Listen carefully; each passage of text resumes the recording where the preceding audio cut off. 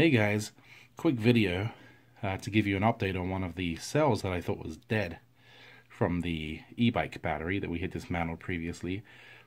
It turns out that the cell had actually engaged a safety mechanism and had basically disconnected uh, from its shell.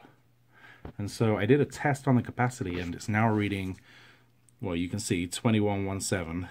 Now these are 3000 milliamp hour cells, so it looks like it lost almost a third of its capacity. And I'll show you what I did here. if you look in those tiny little holes, there's actually a piece of metal under there. And I took um, a screwdriver and prodded and pushed down in there.